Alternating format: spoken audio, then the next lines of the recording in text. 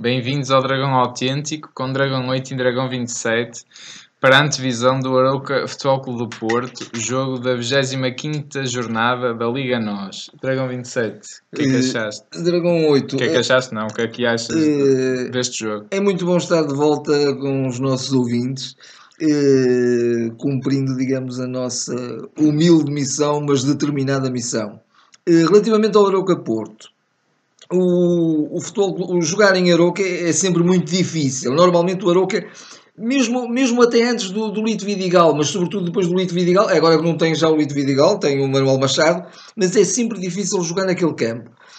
Mas neste momento o Futebol do Porto está muito bem. Está uma equipa verdadeiramente a Porto. Ainda não na qualidade do jogo, esperemos que lá chegue, mas começa a aproximar-se uma equipa que é, neste momento, solidária, coesa, com uma missão em campo, comprometida e competente, independentemente do sistema escolhido. Também é, há, há essa. é- pode ser, digamos, uma vantagem, uma mais-valia o sistema escolhido que até às vezes muda durante o decorrer da partida. Portanto, a fácil adaptação ao sistema começa a ser uma riqueza, do meu ponto de vista, também desta equipa. E aí também mérito para o Nuno, naturalmente.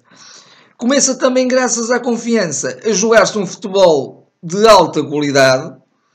Eh, por exemplo, o terceiro gol contra o Nacional é exemplo disso e foi um hino ao futebol, um hino de bem jogar futebol, do futebol que nós tanto apreciamos e que tanto, pelo qual tanto pugnamos, não é? Um futebol Sim. de posse, um futebol de triangulações, de desmarcações, de criatividade, com um Brahimi fantástico, não é? Sim, é um futebol muito mais bonito, assim, né? dá muito mais gosto de ver, não é? O, o Brahim é, neste momento, de alguma forma, o paradigma do fenómeno do futebol do Porto atual. Porquê? Porque o o Brahim é um jogador que defende. É inacreditável como é que um jogador tão criativo defende tão bem. E é um jogador que, está- que joga com alegria. É um jogador que está em missões defensivas, tem uma disponibilidade total e, e um desequilibrador brilhante. Não é? Começa neste momento a ser talvez o melhor um dos melhores jogadores do Campeonato está- Nacional Português. Está- todos nós sabíamos que o Brahimi poderia dar isto e ainda pode dar mais, o que está finalmente potenciado ao máximo as suas eh, habilidades técnicas e, e mentais também, sobretudo mentais. Eh, Quanto aqui a este jogo, eh, o Arauca, que é o nosso adversário, está neste momento no 12º lugar com 27 pontos. Está a fazer um campeonato tranquilo para aquilo que é o seu objetivo, o da permanência, está absolutamente Normalmente tranquilo. chegando aos 30 pontos, garante-se, não é? Portanto, falta Sim, não, não, tem, não tem nada a perder. É um jogo que eles vêm que não tem nada a perder. Vem de uma série de quatro derrotas consecutivas, é verdade.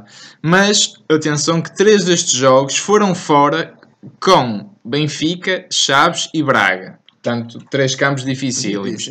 Eh, e, e todos eles fora de casa, né? E outra em casa com o Belenenses, que também está a fazer uma boa época. Portanto, pode ser algo enganador esta série negativa. Sim, sim, sim, sim, o. Porto terá de estar em alerta para isso. Há um fator que pode ser bom, na minha opinião, é que o Arauca mudou recentemente de treinador, tendo saído do Lito Vidigal, não é? E agora ser o Manuel Machado o treinador do Arauca. E, e bom porquê? Não porque o Manuel Machado seja mau treinador, mas porque tem outras ideias, tem outra filosofia e o Arauca ainda está em processo de maturação e adaptação a novas ideias, o que é perfeitamente natural. E acho que pode ser bom para o Porto, que é uma equipa mais experiente, mais maturada, mais oleada e com processos de jogo mais consolidados.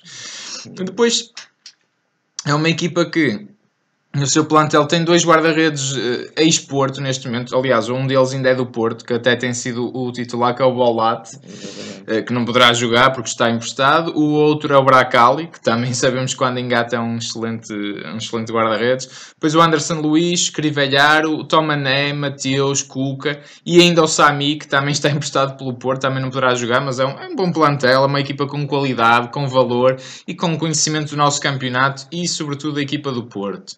O Porto venceu sempre em Arouca, sempre. Três jogos, três vitórias, todas elas nos últimos três anos, desde que o Arouca subiu. Mas como há sempre uma primeira vez para tudo, atenção ao facilitismo e alguma possível prepotência do Porto, não é? Acho que o Porto não pode uh, subestimar este Arouca, Sim, que sim, vai sim, querer também certamente pegar neste encontro para voltar a somar pontos e relançar-se em termos de confiança. E é sempre um encontro que, que os níveis motivacionais crescem para a equipa que vai jogar contra, contra, Contra o, um grande. contra um grande, não é? Exatamente. Há aqui um fator interessante também, é que o Porto entra novamente em campo antes do Benfica, nesta luta ponto por ponto, uh, e ganhando coloca novamente pressão no Benfica e reforça a sua força e vontade em ser campeão em, em mais uma jornada. Uh, e sobretudo numa jornada em que o Benfica teve desgaste europeu, pode ser bom para colocar novamente pressão, vem de uma derrota também pesada, portanto se o Porto ganhar com uma vitória consolidada, creio uh, que, que vai ser mais um passo firme uh, na pressão ao, ao, primeiro lugar. Não é? Primeiro lugar. Mas naturalmente que o Porto tenha que contar consigo próprio Claro, e e focar-se no, no futebol, ser concentrado durante todo o jogo. A qualidade no- na equipa do Porto está a suceder ao trabalho oficinal, ao trabalho de oficina que está a ser feito de fundo.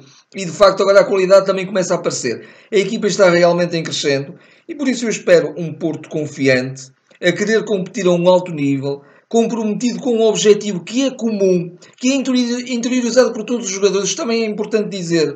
Dos mais aos menos utilizados. Mesmo aqueles que são menos utilizados e que entram, normalmente eh, mostram sempre uma atitude muito boa. Têm mostrado essa atitude muito boa e não uma atitude de ressabiados, de não ser a opção. Portanto, isso é um sinal também muito bom.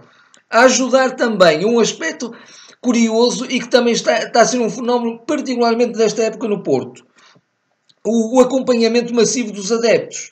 Eh, Tem-se lido nos jornais, e suponho que isso vai concretizar-se, uma grande deslocação, uma deslocação em massa de muitos adeptos Eh, à Aroca. Sim, mas Normalmente atenção, o Porto- que acho que isso eh, tem, um- tem um teor um, um pouco falso, porque o speaker do Estádio Dragão já disse que ainda, isso ainda não é verdade, os bilhetes ainda não estão esgotados, Portanto, por isso sim. quem quer ir à Arouca Sim, ainda sim, pode sim, ir à Arouca. Acho que ah, alguns jornais estão a fazer uma falsa propaganda, Propaganda. nesse sentido, para o Porto não ter tantos adeptos como era... como- Ma- Mas, mas esse fenómeno está-se a Sim, verificar, mas isso está-se a verificar. Viu-se, por exemplo, Claro no Bessa, Claro que às que vezes sim. o Porto levava aqueles, aqueles adeptos mais fiéis que iam sempre a todos os jogos, sobretudo até da Clark, Claro, claro. Mas agora vê-se muito mais do que isso. Isso Claro. também é importante, isso também é uma, é, é uma demonstração de força que também impressiona sempre o adversário, como é evidente.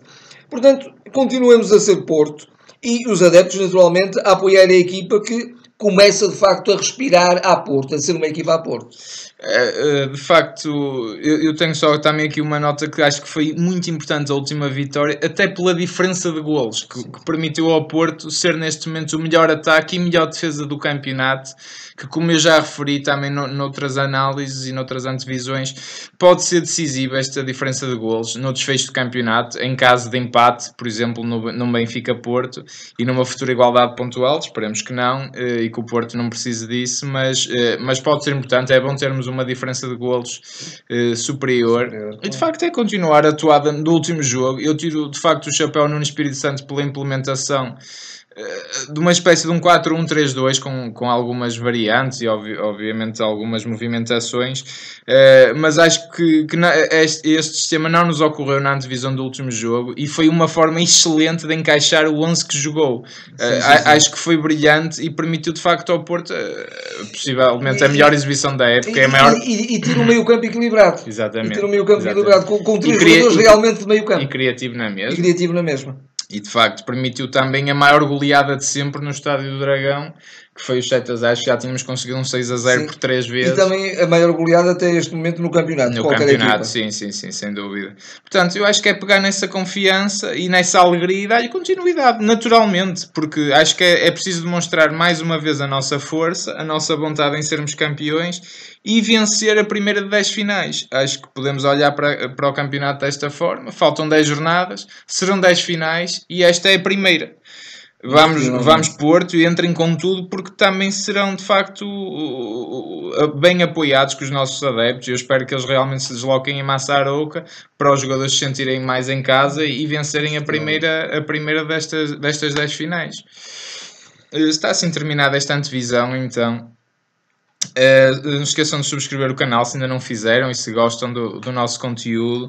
Uh, façam gosto, deixem o vosso comentário. O que é que acham que vai ser este jogo? Como é que acham que o Porto vai jogar? Se acham que vai ser o último 11 ou não? Eu acredito que poderá estar perto do último 11 uh, a, a, equipa do Porto. Sim, até porque o próprio Corona continua lesionado. Sim, poderá, o Maxi poderá regressar. Vamos ver se sai o Layun. Vamos ver sim. como é que o Nuno também faz a gestão, tendo em conta até que, que temos o jogo da Juventus já na próxima semana. Embora eu, foco máximo foco neste. máximo neste jogo, que este jogo é que importa neste momento, como é óbvio.